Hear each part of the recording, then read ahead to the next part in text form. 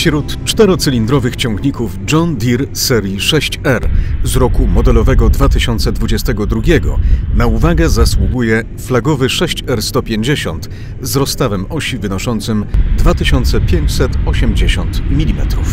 Takie zestawienie sprawia, że z jednej strony jest to traktor o mocy maksymalnej wynoszącej z doładowaniem 177 koni mechanicznych, co po jego dociążeniu pozwala wykonywać ciężkie prace polowe.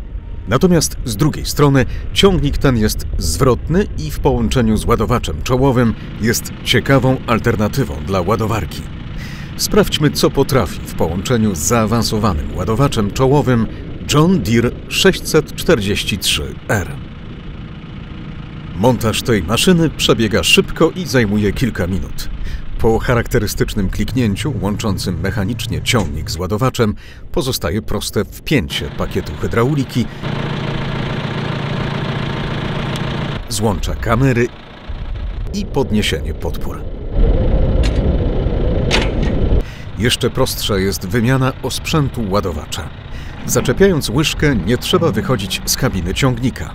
Jedynie podłączanie tzw. Tak trzeciej funkcji osprzętu, takiego jak chwytak do bel, wymaga wpięcia przewodów hydraulicznych. Na uwagę zasługują dwa przyciski umieszczone w kabinie ciągnika, których jednoczesne naciśnięcie pozwala na hydrauliczne odblokowanie osprzętu ładowacza i jego odczepienie. W ciągniku John Deere 6R150 ze skrzynią bezstopniową Autopower obok dużego joysticka Command Pro znajdował się jego mniejszy brat, który również jest dowolnie konfigurowalny. Po montażu na ciągniku ładowacza czołowego należy wykorzystać go do jego obsługi. W celu odblokowania tego elektronicznego joysticka należy nacisnąć przycisk z ikoną kłódki. Natomiast jest on aktywny tylko w momencie objęcia go dłonią.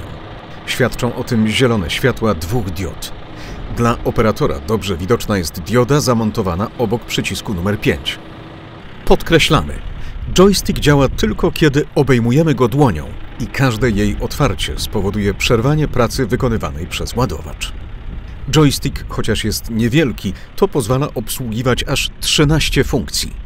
Jego ruchy przód-tył i na boki pozwalają załączyć przepływ oleju w dwóch parach gniazd hydraulicznych. Pozwala to na podnoszenie i opuszczanie całego ładowacza oraz jego osprzętu w postaci np. chwytaka. Przycisk kołyskowy z przodu joysticka można przypisać do otwierania i zamykania bocznych ramion chwytaka. Pozostałe przyciski oznaczone cyframi od 5 do 9 również są konfigurowalne. Nie dotyczy to tylko małego przycisku przesuwnego rewersera, który oznaczony jest kolorem pomarańczowym. Dzięki niemu z poziomu małego joysticka kciukiem zmieniamy kierunek jazdy ciągnika. Ładowacz czołowy John Deere serii R może posiadać wyposażenie nazywane przez producenta pakietem technologicznym. W jego skład wchodzi kilka rozwiązań, które ułatwiają pracę i pozwalają wykonać ją szybciej. Jednym z nich jest system poziomowania ładowacza, który podzielony jest na dwa rodzaje. Pierwszy to tradycyjne poziomowanie osprzętu ładowacza działające podczas jego podnoszenia i opuszczania oznaczone skrótem ESL. Natomiast poziomowanie pozwalające na utrzymywanie osprzętu w zadanym położeniu przy nieruchomych ramionach ładowacza posiada skrót LTH. Jego działanie przydaje się podczas wjeżdżania ciągnikiem na wzniesienie, bo wtedy przy niepracującym ładowaczu następuje automatyczne korygowanie ustawienia tylko jego osprzętu, w naszym przypadku chwytaka z belą.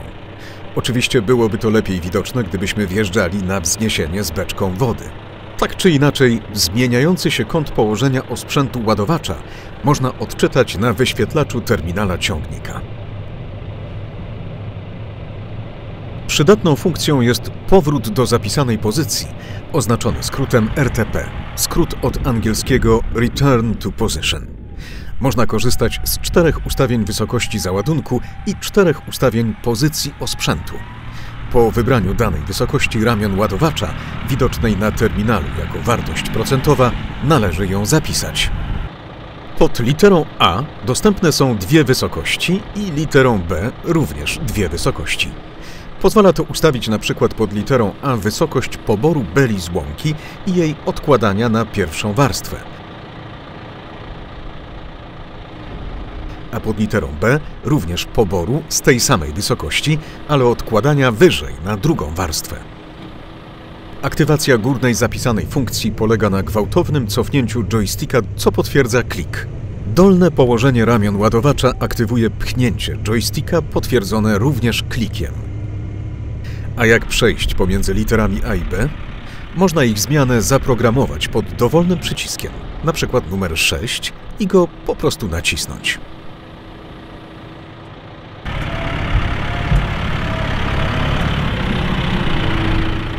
Analogiczne ustawienia powrotu do pozycji dotyczą również osprzętu ładowacza. Po wybraniu jego danego kąta widocznego na terminalu jako wartość w stopniach należy ją zapisać. Pod literą A dostępne są dwa kąty i literą B również dwa kąty. Pozwala to na przykład pod jedną z liter ustawić w pozycji górnej wypoziomowany chwytak gotowy do poboru beli z łąki i w pozycji dolnej chwytak pochylony o około 90 stopni, co pozwoli odłożyć ją na owijarkę. Aktywacja górnej zapisanej funkcji polega na gwałtownym przechyleniu joysticka w lewo, co potwierdza klik. Natomiast klik w prawo spowoduje opuszczenie chwytaka. W codziennej pracy przydatny jest system ważenia dynamicznego, który pozwala szybko, bez zwalniania pracy, liczyć masę przenoszonego materiału. W celu zwiększenia dokładności pomiaru trzeba tylko pamiętać, aby odczytywać je zawsze na identycznej wysokości i ustawieniu kąta osprzętu. Jest to łatwe, bo można skorzystać z omówionej funkcji powrotu do pozycji RTP. Pomiar masy może odbywać się podczas jazdy, a jego dokładność wynosi plus minus 10 kg. System ważenia dynamicznego pozwala nazwać przenoszony lub ładowany materiał i zliczać liczbę jego kilogramów. Może to być docelowa masa zboża ładowanego na naczepę lub bel zwożonych z pola. W drugim przypadku oprócz ważenia warto również sumować ich liczbę. Pobieraną naraz liczbę np. bel słomy należy zaznaczyć w ustawieniach. Dodawanie masy z opcjonalnym, jednoczesnym liczeniem bel odbywa się poprzez naciśnięcie wcześniej zaprogramowanego przycisku na joysticku. W naszym przypadku był to przycisk numer 5.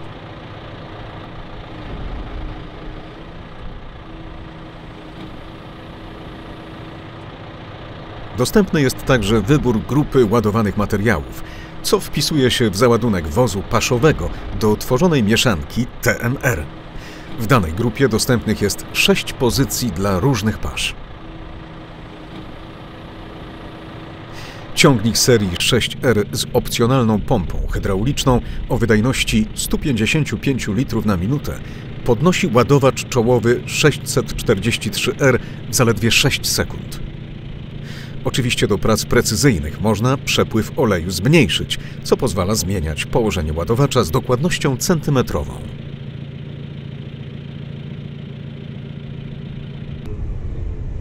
Podczas testu zwróciliśmy uwagę na kilka rozwiązań zastosowanych w nowych ciągnikach serii 6R. Jednym z nich jest możliwość załączenia zmiany przełożenia w układzie kierowniczym, co pozwala szybciej wykonać skręt kół. Praca z tym systemem na uwrociach pola lub z ładowaczem czołowym nie wymaga wykonywania zamaszystych ruchów kołem kierownicy i po prostu mniej męczy. W dachu ciągnika oprócz uchylnej i przeszklonej części tylnej Również część przednia jest przeszklona, co oczywiście ułatwia pracę z ładowaczem czołowym. Wyświetlacz na słupku bocznym zwolnił miejsce na desce rozdzielczej.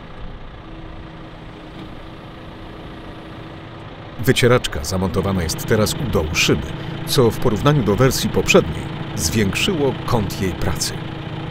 Ciągniki serii 6R z roku modelowego 2022 pozwalają na korzystanie z bogatego pakietu rolnictwa precyzyjnego i rolnictwa 4.0, polegającego na gromadzeniu danych w chmurze firmy John Deere, nazwanej Operations Center.